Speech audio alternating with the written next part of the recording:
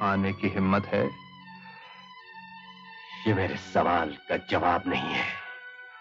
Devils हट mud island Kundan अगर तू अपने बाप की औलाद है तो वहीं रहना।